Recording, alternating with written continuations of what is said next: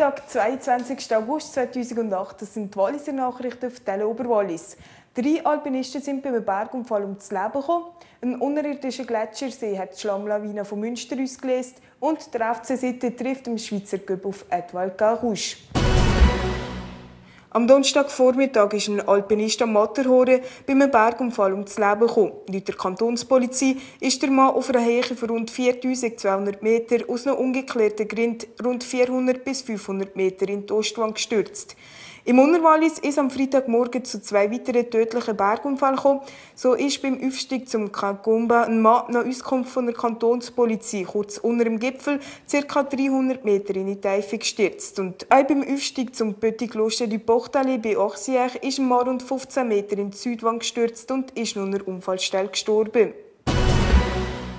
Ein unterirdischer Gletschersee hat am Donnerstag die Schlammlawine ausgelöst, die der Münstiger Bach über die Ufer hat retten Im Moment laufen tiefere Arbeiten in Münster. Wie hoch das der Sachschaden ist, kann man zurzeit noch nicht sagen.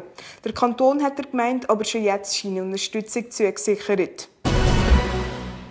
Seit Anfangswoche ist der Simplon-Pass für den Verkehr gesperrt. Grund sei ein Steinschlag auf der italienischen Seite. Die Verantwortlichen vom Personenverkehr haben am Freitag erklärt, dass der Pass ab dem Samstag wieder vom Morgen am 8. bis am Abend am 8. offen ist.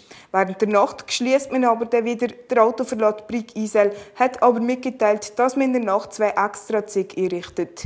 Die fahren dann jeweils um Mitternacht und am 2 Uhr morgen ab Briegen weg. Ab dem 1. September soll der Pass dann wieder ganz offen für sie.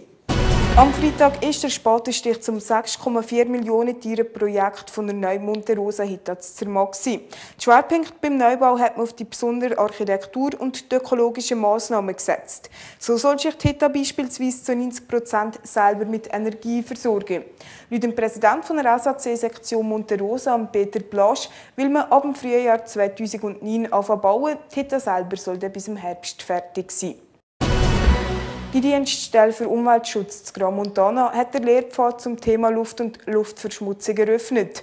Auf einer Strecke von 6 km bekommen wir Informationen unter anderem zu Luft, Gesundheit, Schadstoffquellen, Treibhauseffekt sowie zu Ozon und Feinstaub.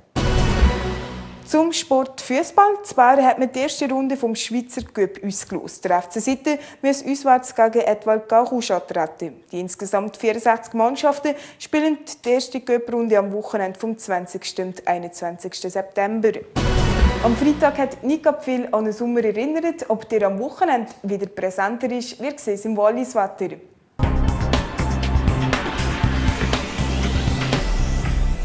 Am Freitag haben sich dicke Wolken der Sonne weggestellt. Im Verlauf des Nachmittags ist der Lokale immer wieder mal regnen. So sieht man es hier auf dem Bild von der Wetterkamera von der Bettmeralp. Das Wochenende startet leider gleichermaßen trist. Am Samstag ist in den größten Teilen vom Oberwallis bewölkt und Regen ist Mäckli. Das bei Temperaturen von 21 Grad im Goms, 26 im Talgrund und 18 Grad Zermatt. Am Sonntag kommen wir dann wieder eher in den Genuss von ein paar Sonnenstrahlen, aber auch dort ziehen immer wieder mal ein paar Wolken auf.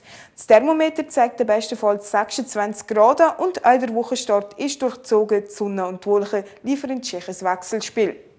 Wechseln die ganz sicher auch wieder die Themen bis zur nächsten Ausgabe von den Walliser Nachrichten. Ich sage an dieser Stelle merci vielmals für Zuschauen. Bis zum nächsten Mal.